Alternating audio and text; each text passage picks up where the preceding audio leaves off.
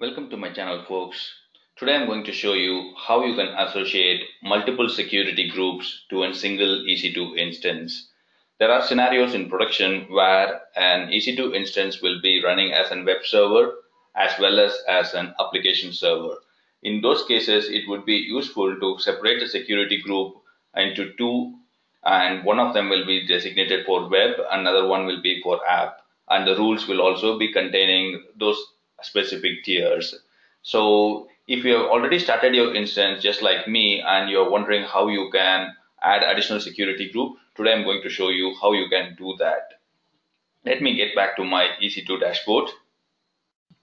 Here, as you can see, I have a web app server running and it currently has only public security group. And you can see there, there are three rules are there for port 80, for HTTP and HTTPS under 443 and port 22 for SSH access. So what we are going to do now is we are going to add a private security group also to this instance. So for that, what we are going to do is we are going to go to network interfaces and there we should be having the network interface for our web app server. So under this network interface, select that and click on actions and you'll have change security group. And here all I have to do is choose your control on your keyboard and you have to select multiple times on all the different security groups that you need. So in this case, I'm going to select the private security group also and click on save.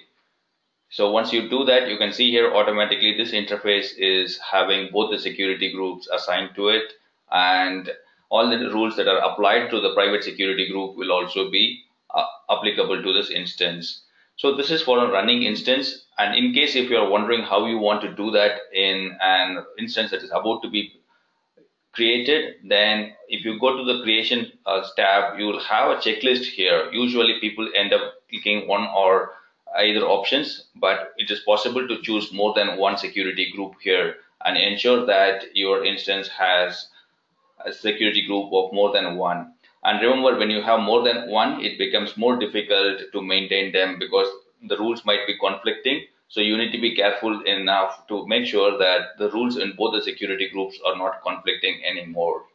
So that is how you associate multiple security groups to an EC2 instance. If you have any questions, go ahead and write them in the comment section. I'll be happy to answer them. Thanks for watching. Happy learning.